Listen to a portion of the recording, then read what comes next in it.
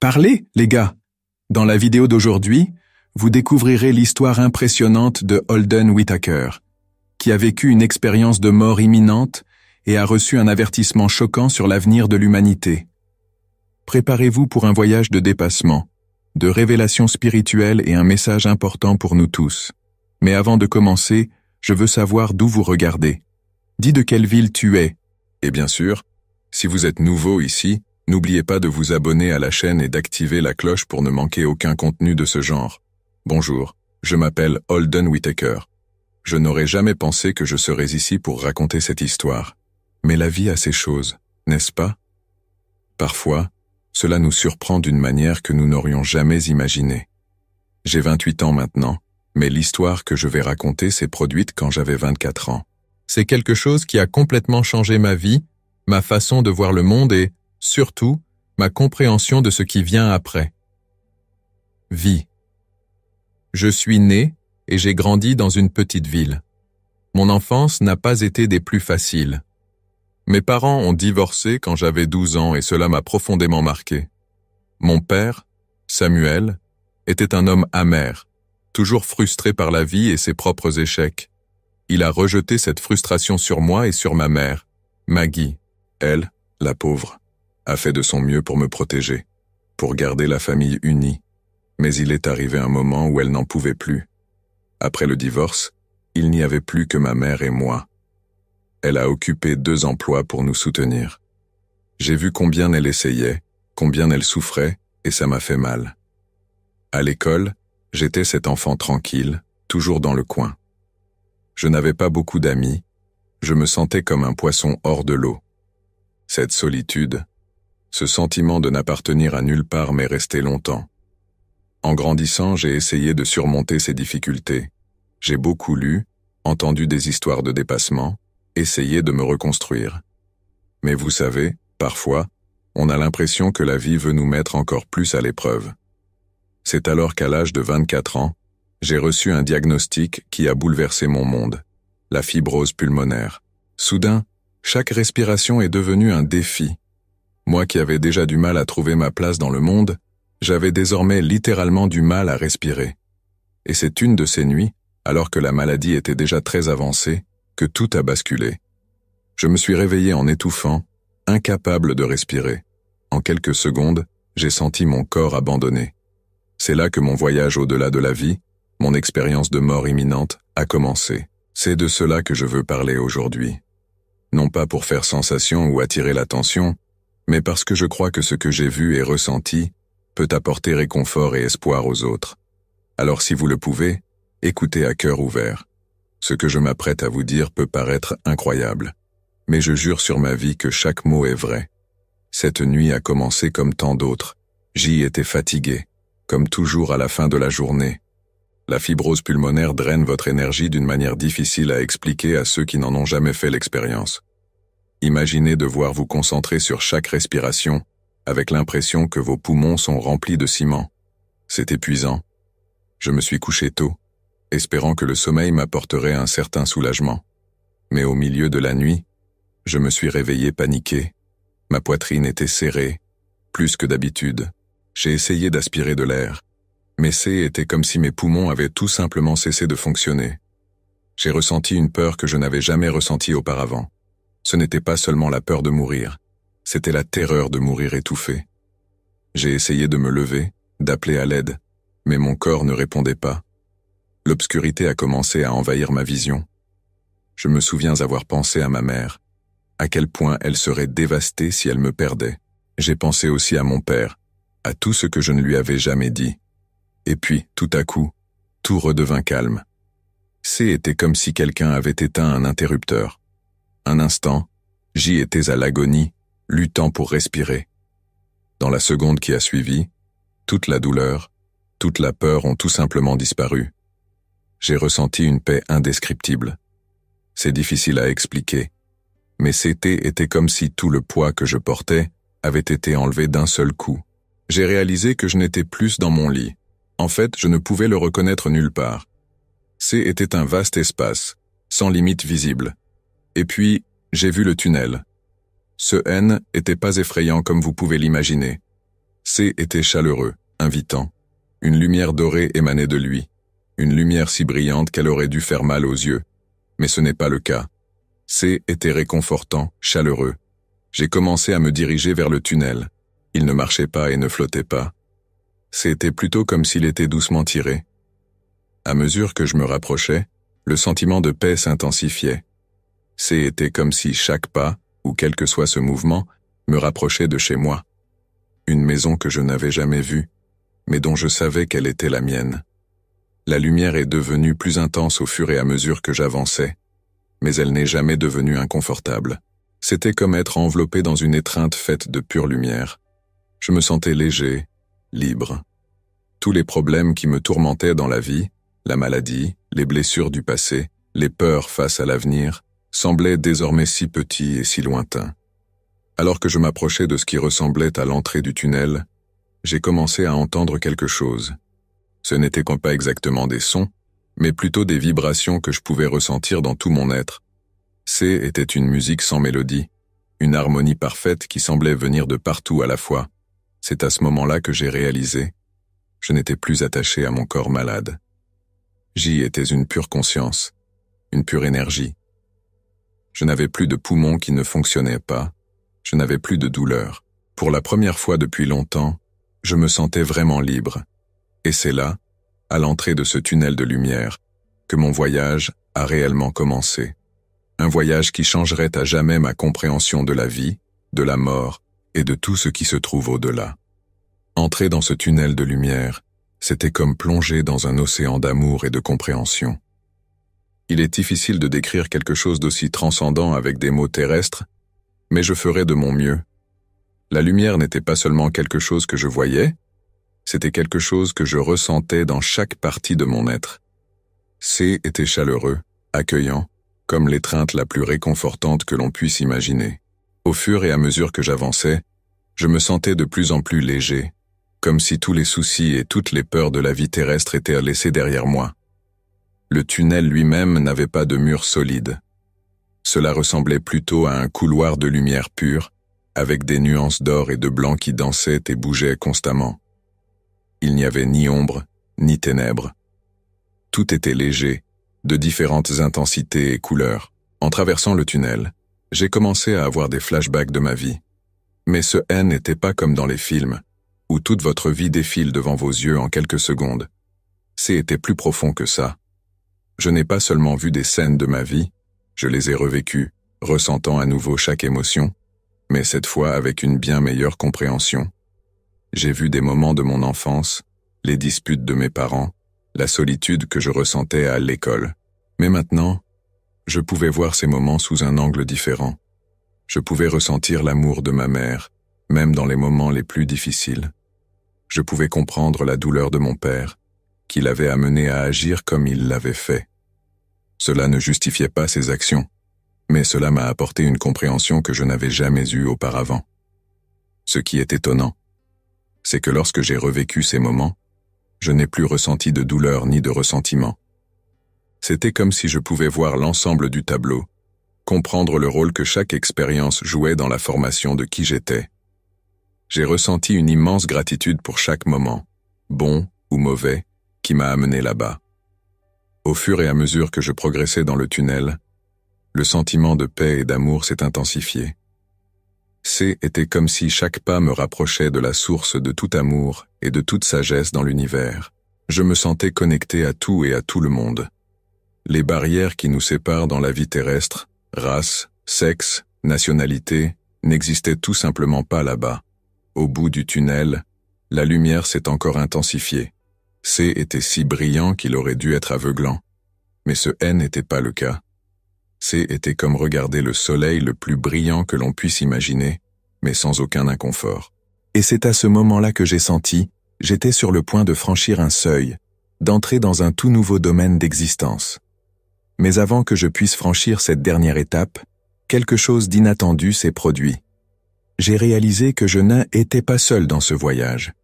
Il y avait d'autres présences autour de moi, d'autres âmes, et c'est alors que j'ai fait une rencontre qui allait changer le cours de mon expérience. Alors que j'approchais de ce qui semblait être le bout du tunnel, j'ai commencé à remarquer d'autres présences autour de moi. Au début, ce n'étaient que des ombres indistinctes, à la périphérie de ma vision. Mais au fur et à mesure que je me concentrais sur eux, ils ont commencé à prendre forme. C'étaient des âmes, tout comme moi. Mais il y avait quelque chose de différent en eux. Alors que je me sentais léger et en paix, ces âmes semblaient perdues. Ils erraient sans but, comme s'ils étaient piégés dans une sorte de vide. Ils ne se sont pas déplacés vers la lumière comme moi, mais ils n'ont pas reculé non plus. Ils sont restés là, flottants. J'ai senti une profonde tristesse émaner d'eux. Ce n'était pas de la tristesse comme nous la connaissons sur Terre, c'était plutôt un sentiment de vide, de manque de but. C'était comme si ces âmes avaient perdu le lien avec qui elles étaient réellement. Poussé par un élan de compassion, j'ai tenté de m'approcher de l'un d'eux. Je voulais aider, offrir du réconfort d'une manière ou d'une autre. Mais avant de pouvoir le faire, j'ai senti une présence se matérialiser à côté de moi. Il s'agissait d'un personnage masculin, vêtu d'une veste en jean et d'un chapeau. Il ne s'est pas présenté, mais il dégageait une aura de sagesse et d'autorité. Sa voix était douce, mais ferme lorsqu'il m'a dit ⁇ Ne t'approche pas d'eux, ils ont perdu qui ils étaient, et maintenant ils sont piégés ici. J'ai été confus par cet avertissement. Comment quelqu'un pourrait-il perdre qui il était Et pourquoi était-il coincé là?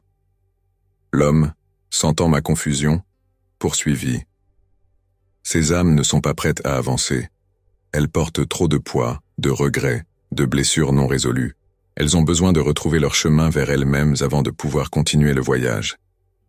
J'ai de nouveau regardé les âmes perdues, et cette fois, j'ai pu voir au-delà de la tristesse. J'ai vu le poids qu'ils portaient, les chaînes invisibles qui les maintenaient ensemble. Certains semblaient enveloppés dans un sombre brouillard de culpabilité, d'autres dans un tissu de ressentiment. C'est était douloureux à voir.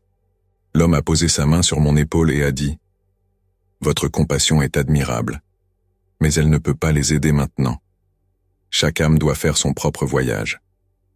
Ce que vous pouvez faire, c'est vous en souvenir à votre retour. Aider les vivants à résoudre leurs problèmes. Leurs problèmes, pardonner et être pardonnés, vivre en paix avec eux-mêmes.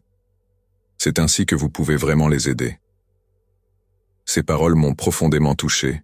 J'ai réalisé que beaucoup de ces âmes étaient de probablement des gens qui étaient repartis avec des affaires inachevées, des relations brisées, des paroles non prononcées. J'ai compris que la façon dont nous vivons nos vies a un impact bien plus grand que nous ne le pensons, pas seulement ici, mais aussi au-delà. Avant de partir, l'homme m'a donné un dernier conseil. Rappelez-vous, Holden, l'amour est la force la plus puissante qui soit. C'est ce qui nous relie, ce qui nous guérit, ce qui nous guide vers la lumière. Ne le lâchez jamais, à ce sujet. À ces mots, il disparut aussi soudainement qu'il était apparu.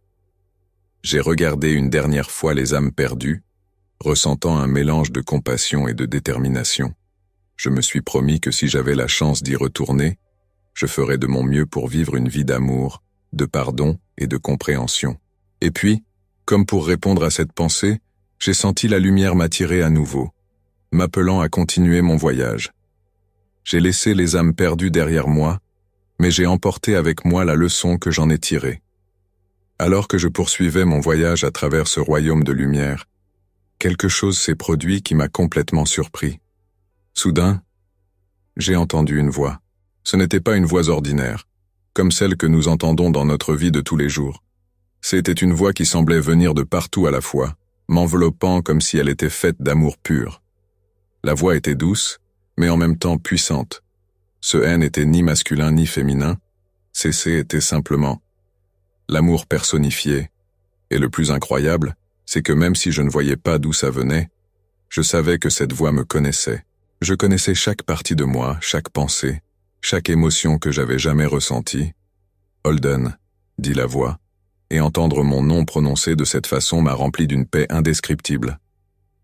Vous avez parcouru un long chemin dans votre voyage, mais il n'est pas encore temps de franchir le portail. J'y étais confus. N'était-il pas temps? Mais j'y étais si proche. La lumière était si accueillante. J'ai ressenti un pincement de déception, mais la voix a continué. me remplissant d'un sentiment de détermination que je n'avais jamais ressenti auparavant. Il y a une raison pour laquelle tu es venu ici, Holden, un message que tu dois retenir. Ma curiosité a été immédiatement piquée. Un message? Pour qui? À propos de quoi?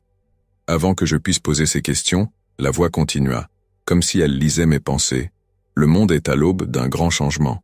Une transformation qui affectera toute l'humanité. J'ai senti un frisson parcourir mon être. La voix n'avait pas l'air alarmante, mais il y avait un ton sérieux qui me fit comprendre la gravité de ce qui était dit. Dans les années à venir, il y aura des défis. Chaos, confusion, moments d'obscurité. Mais n'ayez crainte, Holden. Tout cela fait partie d'un plan plus vaste. C'est le prélude à une nouvelle ère de paix et d'équilibre. Pendant que la voix parlait, je pouvais voir des images se former autour de moi. Aperçu des événements futurs, du changement climatique, des avancées technologiques, des transformations sociales. C'était comme regarder un film sur l'avenir de la Terre. Mais je ne me contentais pas de regarder, je ressentais chaque instant. L'humanité est sur le point de faire un grand pas en avant dans son évolution. Pas seulement technologique ou scientifique, mais spirituel. Les gens commenceront à s'éveiller à leur vraie nature, à l'interconnexion de toutes choses. Entre octobre et novembre 2024, le changement commencera. J'ai été étonné. L'ampleur de ce qui était révélé était presque écrasante. Mais en même temps, je sentais grandir en moi une responsabilité j'avais été choisi pour transmettre ce message. Votre rôle, Holden, est d'être une lueur d'espoir. Partagez ce que vous avez vu et appris ici. Rappelez aux gens que même dans les moments les plus sombres, il y a une lumière qui guide le chemin. La voix s'arrêta, comme pour laisser ses mots pénétrer, puis il a continué avec une douceur qui a touché le plus profond de mon âme. Car mais avant votre retour, il y a quelque chose qui doit être guéri en vous. Et avec ces mots, j'ai senti une vague d'énergie m'envahir, déclenchant le processus de guérison émotionnelle le plus profond que j'ai jamais connu. À ce moment-là, entouré par l'énergie aimante de cette voix, j'ai commencé à ressentir quelque chose d'extraordinaire qui se passait en moi. C'était comme si chaque blessure émotionnelle, chaque blessure que je portais remontait à la surface. D'abord, j'ai vu mon père. Tous les souvenirs douloureux, les mots durs, les moments de rejet que j'avais enfouis au plus profond de moi sont revenus. Mais cette fois, au lieu de la douleur habituelle, j'ai ressenti une profonde compréhension. Je considérais mon père non seulement comme l'homme qui m'avait blessé, mais aussi comme un être humain complexe, portant ses propres fardeaux et ses insécurités. La voix m'a doucement guidé. Pardonne-lui, Holden, pas pour ce qu'il a fait, mais pour toi-même. Le pardon est la clé de ta propre liberté, et là, dans cet espace d'amour pur, j'ai fait quelque chose que je n'aurais jamais cru possible. J'ai pardonné à mon père. J'ai senti des années de ressentiment se dissoudre, remplacées par une compassion que je n'avais jamais ressentie auparavant. Puis sont venus les souvenirs de ma mère. J'ai vu ton sacrifice, ton amour inconditionnel, mais j'ai aussi vu le poids que j'ai mis sur tes épaules avec mes propres attentes et besoins. J'ai ressenti une immense gratitude, mêlé de regrets pour toutes les fois où je ne lui ai pas montré combien je l'aimais. L'amour de ta mère a toujours été avec toi, Holden. Il est maintenant temps d'accepter pleinement cet amour et de le rendre au monde. Des larmes qui n'étaient pas physiques, mais que je pouvais sentir dans mon âme, coulaient librement. C'était comme si chaque goutte emportait une partie de la douleur que je portais. La voix a continué à me guider à travers d'autres souvenirs. Amitié perdue, opportunités gâchées, Moments de doute et de peur, chaque souvenir a été traité avec bienveillance. Chaque émotion a été reconnue puis transformée. Tu n'es pas défini par tes erreurs ou ta douleur, Holden. Tu es défini par ta capacité à aimer, à grandir, à te transformer. Au fur et à mesure que ce processus se poursuivait, j'avais l'impression que des couches et des couches de poids étaient retirées de mon être. C'était libérateur d'une manière que je n'avais jamais connue auparavant. Enfin, nous arrivons à ma maladie. J'ai vu mon corps fragile, qui avait du mal à respirer. Mais maintenant, au lieu de peur ou de ressentiment, je ressentais une profonde acceptation. Votre voyage physique a un but, Holden. Chaque défi est une opportunité de croissance et de compréhension plus profonde. À ce moment-là, j'ai compris que ma maladie n'était pas une punition, mais une partie de mon chemin. Un voyage qui m'a amené là-bas, à cette expérience transformatrice. Lorsque le processus de guérison a pris fin, je me suis senti léger, complet. C'était comme si, pour la première fois de ma vie, j'y étais vraiment en paix avec moi-même. Tout le bagage émotionnel que je portais s'était transformé en compréhension et en amour. La voix parla une dernière fois avant la fin de cette partie de mon voyage. Prends cette paix avec toi, Holden. Partagez-la avec le monde. C'est votre véritable objectif. Et avec ces mots, j'avais l'impression d'être prêt pour la prochaine étape de mon voyage, quelle qu'elle soit. Après cette profonde expérience de guérison, j'ai ressenti un changement subtil. La lumière intense qui m'entourait a commencé à s'atténuer progressivement. Au début, je pensais simplement m'habituer à la luminosité, mais j'ai vite réalisé qu'il se passait autre chose. La voix aimante parla à nouveau, cette fois avec un ton d'adieu. Il est temps, Holden. Tu dois revenir maintenant. J'ai ressenti un mélange d'émotions. D'un côté, il y avait une partie de moi qui ne voulait pas quitter cet endroit de paix et d'amour inconditionnel. De l'autre, j'ai ressenti une nouvelle détermination, un but qui m'a fait reculer. N'oubliez pas, continua la voix, vous n'êtes jamais vraiment seul. L'amour que vous avez expérimenté ici est toujours avec vous, en vous. Avec ces mots, j'avais l'impression d'être doucement repoussé. La sensation était semblable à celle d'une plongée dans l'eau chaude. Les couleurs et la lumière ont commencé à se dissoudre autour de moi, laissant place à une obscurité qui, étonnamment, n'était pas effrayante. Tandis que je retombais, des éclairs de ma vie me défilèrent à nouveau, mais cette fois dans l'ordre inverse. J'ai vu des moments de mon âge adulte, de mon adolescence, de mon enfance. Chaque souvenir était désormais imprégné d'un nouveau sens, d'une nouvelle compréhension. Soudain, j'ai ressenti une forte attirance. C'était comme si mon corps me rappelait. Le sentiment de paix a commencé à céder la place à d'autres sensations. La douleur, l'inconfort, le poids de mon corps physique. J'ai ouvert lentement les yeux, clignant des yeux devant la lumière fluorescente de la chambre d'hôpital. Le son des machines à bip et des voix étouffées a remplacé l'harmonie céleste que j'avais expérimentée. J'ai essayé de parler, mais ma gorge était sèche et j'avais un tube dans la bouche. J'ai réalisé que J était connecté à plusieurs machines. Une infirmière a remarqué que je M était réveillé et a rapidement appelé un médecin. Au cours des minutes suivantes, j'ai été bombardé de questions et d'examens. Apparemment, J était dans le coma depuis trois jours. Les médecins ont été étonnés de mon rétablissement le qualifiant de miraculeux. Mais au milieu de toute cette agitation, quelque chose a retenu mon attention. Par la fenêtre de la chambre d'hôpital, j'ai vu quelque chose qui a fait battre mon cœur. Jésus était dehors, il me souriait. À ses côtés, majestueux et imposant, se tenait un lion d'or. J'ai cligné des yeux, ne croyant pas ce que j'ai vu.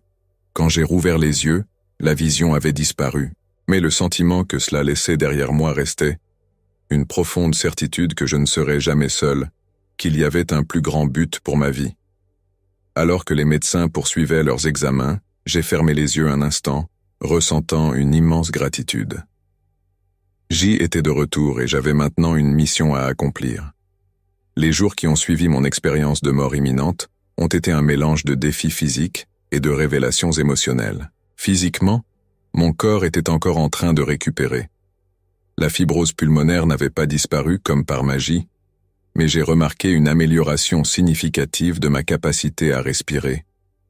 Les médecins ne pouvaient pas l'expliquer complètement, mais je savais que quelque chose au plus profond de moi avait changé. Émotionnellement, j'avais l'impression de renaître. La paix et l'amour que j'ai vécu lors de mon EMI résonnaient toujours en moi, mais m'adapter à nouveau à la réalité quotidienne n'a pas été facile. Il y avait des moments où j'aspirais à la sérénité de cet autre plan, où l'intensité des émotions et des sensations terrestres semblait presque écrasante. Ma mère était presque constamment à mes côtés. Je pouvais voir le soulagement et l'amour dans ses yeux, mêlés à une inquiétude qu'elle essayait de cacher. Un après-midi, alors que nous étions seuls dans la chambre d'hôpital, j'ai décidé de partager avec elle ce que j'avais vécu.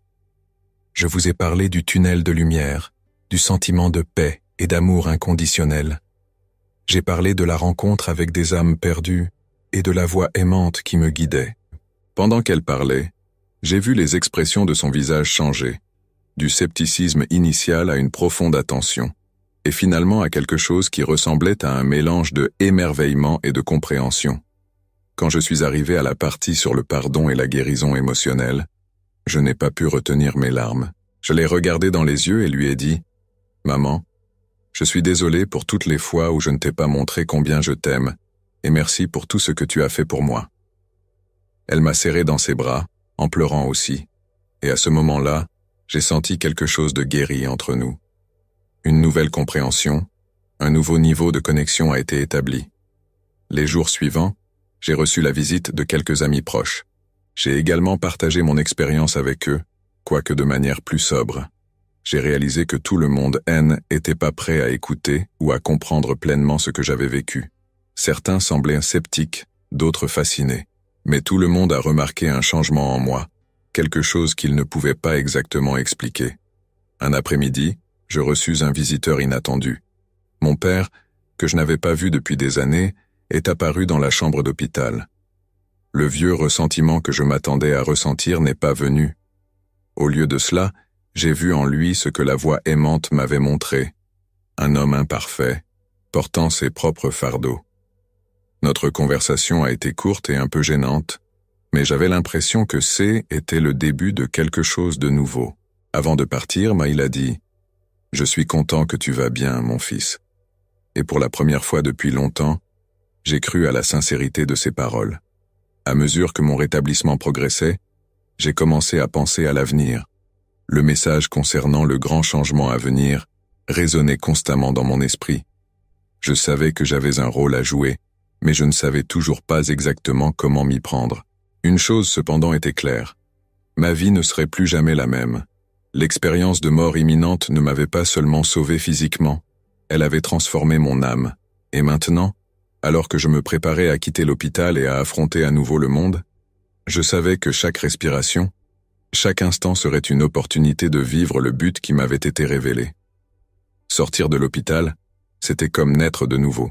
Le monde semblait différent, plus vivant d'une manière ou d'une autre. Les couleurs semblaient plus vibrantes, les sons plus clairs. Chaque respiration était un cadeau que j'appréciais profondément. Durant les premiers jours à la maison, j'ai dû m'adapter à une nouvelle routine. Il restait encore des médicaments à prendre, des exercices de respiration à faire, des rendez-vous de suivi à respecter, mais tout cela ressemblait moins à un fardeau qu'à une opportunité de prendre soin du corps qui me permettait d'être ici et d'accomplir mon objectif. Ma mère a insisté pour que je reste avec elle pendant un certain temps, et j'ai accepté avec plaisir. Notre relation cesse s'était approfondie d'une manière que je n'aurais jamais imaginé possible. Nous avons passé des heures à parler, non seulement de mon expérience, mais de la vie en général. Je pouvais voir qu'elle s'ouvrait à de nouvelles perspectives, remettant en question des choses qu'elle tenait auparavant pour acquises. Au fil des semaines, j'ai commencé à ressentir une urgence croissante de partager ce que j'avais appris. Le message du grand changement à venir pesait lourd sur mon cœur. Je savais que je devais faire quelque chose, mais je ne savais pas par où commencer. C'est alors que j'ai décidé de commencer simplement, avec les gens qui m'entourent. J'ai commencé à pratiquer consciemment l'amour et la compassion que j'avais expérimenté lors de mon EMI, avec le garçon de la boulangerie, avec le voisin âgé, avec le chauffeur de bus grincheux, chaque interaction est devenue une opportunité de répandre un peu de cet amour inconditionnel. J'ai remarqué que les gens réagissaient de manière surprenante. C'était comme s'ils ressentaient quelque chose de différent en moi, quelque chose qui les attirait et les faisait s'ouvrir. Beaucoup ont commencé à me chercher pour parler, demander conseil ou simplement être en ma présence. Un jour, j'ai reçu un appel téléphonique inattendu. C était mon ancien patron qui me demandait si j'aimerais retourner travailler. Mon premier réflexe a été de dire non. Travailler dans un bureau me semblait si loin du but que je ressentais maintenant. Mais ensuite, je me suis souvenu des paroles de la voix aimante. Chaque défi est une opportunité de croissance. J'ai décidé d'accepter l'offre, y voyant une opportunité de transmettre mon message dans un nouvel environnement. Le retour au travail a été une expérience surréaliste. Le bureau était le même, les gens étaient les mêmes, mais j'avais complètement changé. J'ai remarqué que je réagissais différemment au stress, aux pressions de la vie quotidienne. Là où auparavant j'aurais été frustré ou anxieux, J'ai maintenant trouvé un calme intérieur. Mes collègues ont remarqué le changement. Certains ont demandé ce qui s'était passé, d'autres ont simplement commenté que j'avais l'air différent. J'ai commencé à avoir des conversations plus profondes pendant les pauses, partageant des bribes de mon expérience avec ceux qui semblaient disposés à écouter. Un après-midi, au cours d'une réunion particulièrement tendue, quelque chose d'intéressant s'est produit. Deux collègues se disputaient vivement au sujet d'un projet.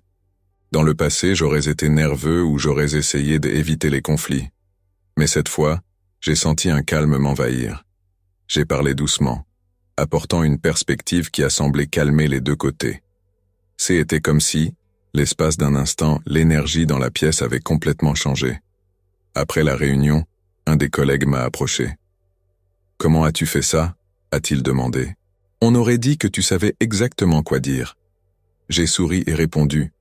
Parfois, lorsque nous nous connectons à quelque chose de plus grand que nous-mêmes, les réponses viennent tout simplement. C'est à ce moment-là que j'ai réalisé, je n'avais pas besoin d'une grande plateforme pour partager mon message. Chaque interaction, chaque instant, était une opportunité de partager une partie de cet amour et de cette compréhension que j'avais vécue. J'ai commencé à prêter plus d'attention aux petites choses. Un sourire à un inconnu dans la rue, un mot gentil à quelqu'un qui semblait vivre une journée difficile, un moment d'écoute sincère à un ami dans le besoin, j'ai réalisé que ces petites actions créaient des répercussions, affectant les gens d'une manière que je ne pouvais pas toujours voir directement. Le soir, avant de me coucher, je me retrouvais souvent à penser aux grands changements à venir. Parfois, je sentais l'anxiété monter en moi. Et si les gens ne croyaient pas? Et si je n'en faisais pas assez? Mais ensuite, je me suis souvenu des paroles de la voix aimante. On n'est jamais vraiment seul, j'ai fermé les yeux et j'ai essayé de renouer avec ce sentiment de paix et d'amour que j'avais ressenti. Et toujours, sans faute, je sentais un calme m'envahir. Au fur et à mesure que les jours se transformaient en semaines et les semaines en mois, j'ai commencé à remarquer des changements subtils autour de moi. Des gens qui semblaient auparavant fermés ont commencé à s'ouvrir. Des conversations auparavant superficielles ont gagné en profondeur. C'était comme si, peu à peu, une nouvelle conscience S éveillait. Et même si je ne savais pas exactement ce que l'avenir me réservait, j'ai ressenti une confiance croissante. Le grand changement arrivait et, d'une manière ou d'une autre, je savais que j'étais exactement là où j'étais censé être, faisant exactement ce que j'étais censé faire.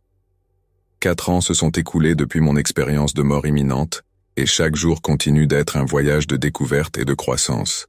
Parfois, lorsque je m'arrête pour réfléchir, je m'émerveille de voir à quel point ma vie a changé. Ma relation avec ma mère s'est épanouie d'une manière que je n'aurais jamais imaginé possible. Elle est devenue non seulement ma mère, mais aussi une amie et une confidente. La voir adopter de nouvelles perspectives et s'ouvrir au monde d'une nouvelle manière a été l'une des plus grandes joies de ma vie. Avec mon père, les choses ont progressé lentement mais sûrement. Nous avons eu de nombreuses conversations difficiles, de nombreux moments de silence inconfortable. Mais nous avons aussi eu des moments de véritable connexion, de compréhension mutuelle. Nous ne sommes pas une famille parfaite, loin de là, mais nous apprenons à nous aimer et à nous accepter avec toutes nos imperfections. Au travail, je suis devenu une sorte de conseiller officieux. Les gens ont commencé à me chercher non seulement pour des questions professionnelles, mais aussi pour parler de vie, de relations, de spiritualité. Je ne me considère ni comme un gourou ni comme un sage, loin de là. Je suis juste quelqu'un qui a eu un aperçu de quelque chose de plus grand et qui essaie d'être à la hauteur. Quant à ma santé, la fibrose pulmonaire fait toujours partie de ma vie, mais d'une manière différente.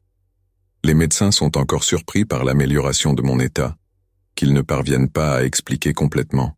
Je sais que chaque souffle est un cadeau, une opportunité d'y être ici et de faire une différence.